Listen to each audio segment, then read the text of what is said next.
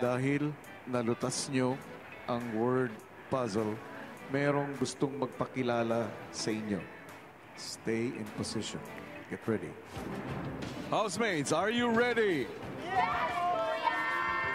Ready, set, go!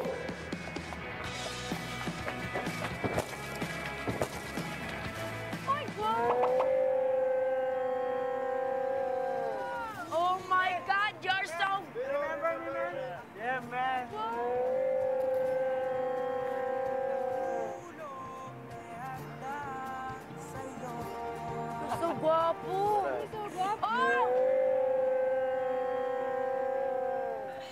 Kuya! Wala to. Kuya, ang gwapo po.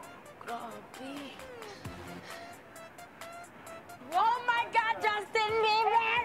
Maganda po yung mata, yung ilong matangos po, at saka yung lips po, kuya. Gwapo! Be! Nakakamiss kasi po kuya eh. Cute-cute kuya. Arjun Papa!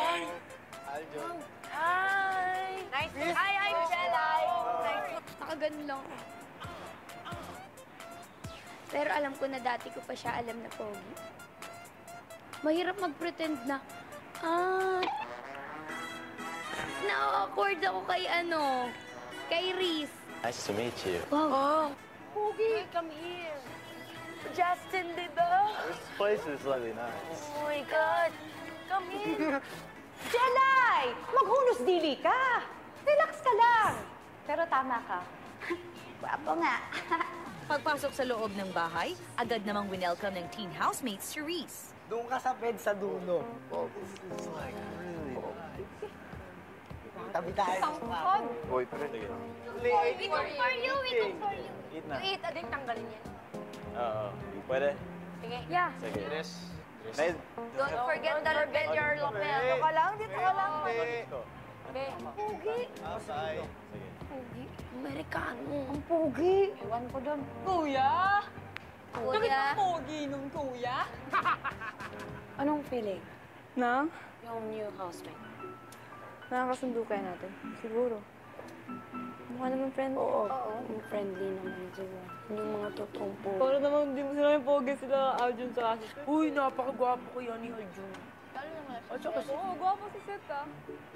Matapos kumain ng hapunan, si Jelay dumiretso sa girls' bedroom.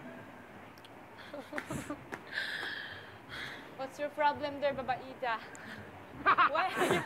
Wala kayong lahat on your lips. You really want to be beautiful, ha? You're beautiful naman na kumain kami ng adobo, eh, nagkamantika po yung mukha. Hindi ko yun, napulbos lang po ako. Paganda talaga siya eh.